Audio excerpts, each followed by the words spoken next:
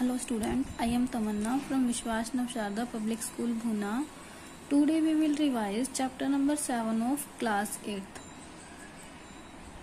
कल जिन भी स्टूडेंट ने लेसन नंबर एट का टेस्ट किया था और सेंड किया था, उन स्टूडेंट को आज मार्क्स के साथ जो टेस्ट है वो वापस मिल जाएगा।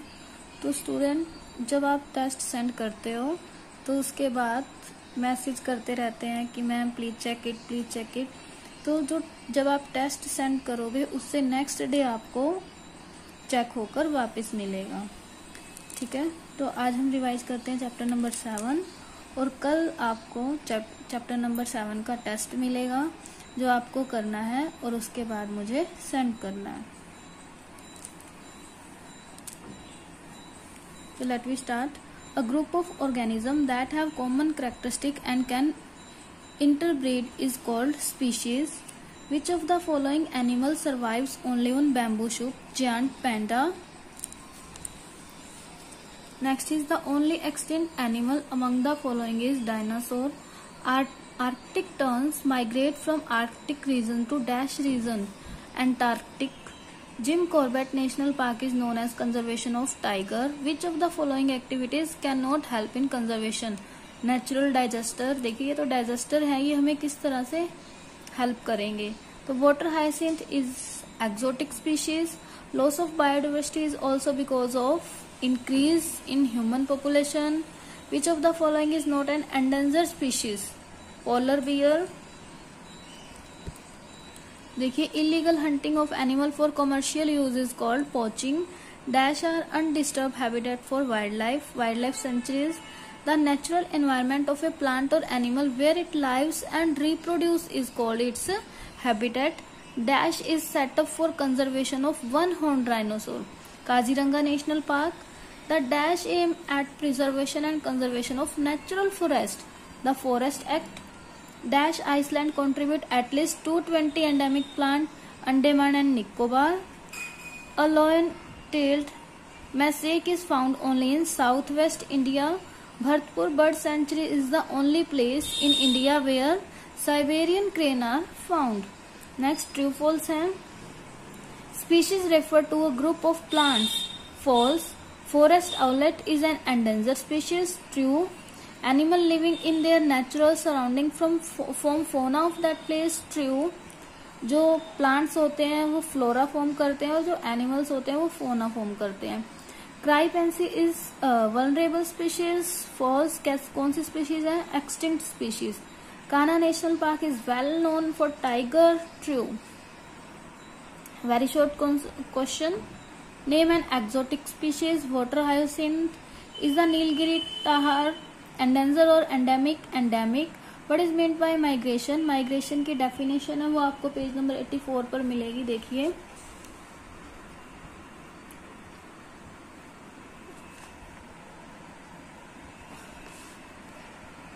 देखिए, क्या है? Seasonal movement of bird and animal in large number from one place to another to overcome unfavourable condition and return back to original habitat when condition become favourable is called migration तो ये आप migration की definition में write करेंगे। Name the first reserve forest of India Satpura national park next है expand IUCN international union for conservation of nature and natural resources name any endanger species of animal blue whale short answer type one question define reforestation reforestation की definition और next question है what is red data book तो पहले हम इसकी definition देखेंगे और फिर हम रेड डाटा बुक 82 और 84 पेज पर। देखिए रिफोरेस्टेशन क्या है? Reforestation is restoring of destroyed forest by planting tree means जो फॉरेस्ट डिस्ट्रॉय हो, हो चुके हैं उन्हें ट्री को प्लांट करके दोबारा से लगाना या फिर बचाना। रेड डाटा बुक 84 पर है। Book that keep record for all endanger element, animals, plant और अदर स्पीशीज। उसे हम क्या बोलते हैं? रेड डाटा बुक तो नेक्स्ट है how does overgrazing by animal destroy forest मतलब जो ओवरग्रेजिंग है एनिमल की, वो फॉरेस्ट को डिस्ट्रॉय कर देगी और वो किस तरह से फॉरेस्ट को डिस्ट्रॉय करेगी? पेज नंबर 81 पर है इसका आंसर क्या करते हैं? Grazing animal eat young tree young trees को वो खा जाते हैं डिस्ट्रॉय कर देते हैं लीव्स को लोअर ब्रांचेस पे होते हैं and injure roots and trunk इस तरह से क्या करते हैं? ओवर ग्रेजिंग जो है, वो फॉरेस्ट को डिस्ट्रॉय कर देते हैं।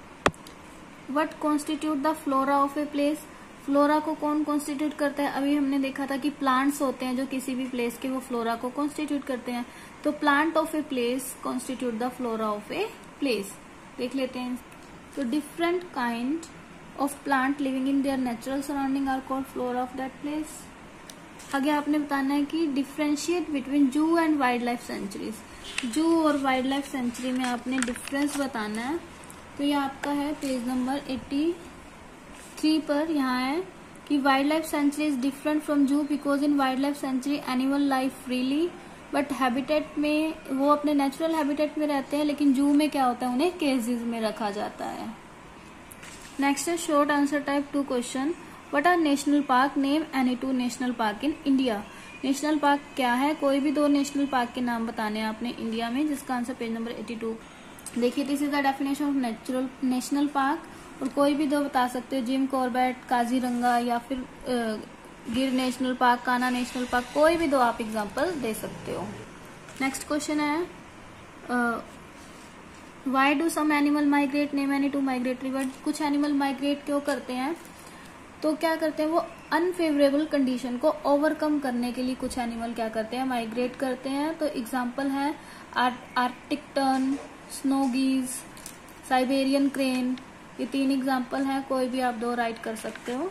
तो इसका आंसर है to overcome unfavourable unfavourable condition some animals migrate next है what is the aim of IUCN red list और नेक्स्ट है differentiate between endanger and critically endangered इसमें तो आपने एंडेंजर की डेफिनेशन लिखनी है पहले, फिर क्रिटिकली एंडेंजर की लिख देना।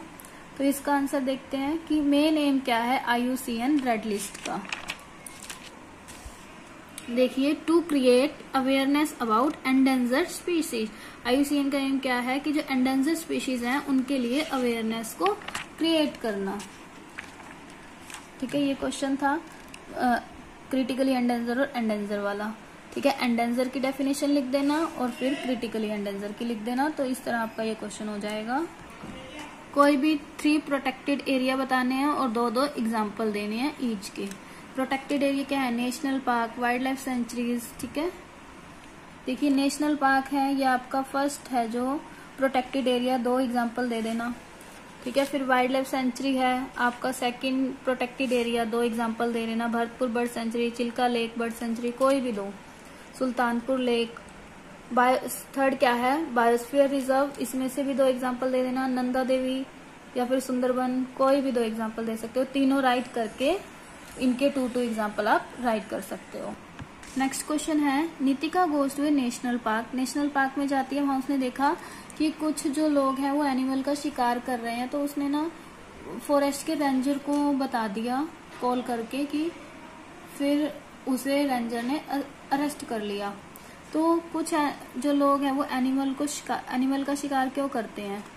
For commercial use what should we learn from Nitika love for animal next question है long answer what is biodiversity how is it important for human तो बायोडाइवर्सिटी की डेफिनेशन तो बिल्कुल पेज के स्टार्टिंग पे ही थी। पेज नंबर सेवेंटी सिक्स पर। देखिए the wide variety of plant and animals along with the micro organism living in a particular region is called biodiversity और ये इम्पोर्टेंट क्यों है? देखिए इम्पोर्टेंस ऑफ़ बायोडाइवर्सिटी तो यहाँ से आप लिख सकते हो biodiversity maintain the environment around us और we are also economically dependent upon the biodiversity next है पार्ट इसका why do we need to conserve the biodiversity biodiversity को कंजर्व करने की ज़रूरत क्यों है? To prevent the endanger species from becoming extinct to and to maintain the ecological balance in the nature we need to conserve the biodiversity next है what is deforestation deforestation क्या है और कंसिक्वेंस बताने हैं डिफोरेस्टेशन के। Deforestation क्या है? पेड़ों को काटना ही होता है डिफोरेस्टेशन तो यहाँ से आप बता सकते हो कि डिफोरेस्टेशन की डेफिनेशन है और ये सारे क्या है? कंसिक्वेंसी है ये। इससे सोयल इरोजन होगा ठीक है, और कार्बन डाइऑक्साइड का अमाउंट इंक्रीज हो जाएगा ग्लोबल वार्मिंग होगी यही दो आप इसके कंसिक्वेंस बता सकते हो। नेक्स्ट देखिए horse a new species of plant is introduce to habitat अगर एक नई स्पीशीज को इंट्रोड्यूस किया किसी भी हैबिटेट में तो इसका क्या नेगेटिव इम्पैक्ट होगा? देखिए, अगर एक नई स्पीशीज आ गई तो ये दूसरे प्लांट के साथ क्या करेगी? कम्पीट करेगी न्यूट्रिएंट के लिए और अपने स्पेस के लिए। तो how does recycling of paper conserve natural resources देखिए, अगर हम पेपर को रिसाइकिल करते हैं, देखिए पेपर किससे बनता है? ट्री से। अगर हम ट्रीज को काटते हैं तो उससे पेपर बनता है। तो अगर हम पेपर को रिसाइकिल करते रहेंगे तो हमें कम ट्रीज को कट करना पड़ेगा। मीन्स कम फॉरेस्ट डिस्ट्रॉय होंगे। इस तरह से हम नेचुरल रिसोर्सेज को बचा सकते हैं, अगर पेपर को रिसाइकिल करें तो। तो स्टूडेंट ये आपका लेसन नंबर सेवन था। तो आप लेसन सेवन रिवाइज करेंगे और कल इस पर बेस्ड आपको टेस्ट मिलेगा। Thank you bye bye keep studying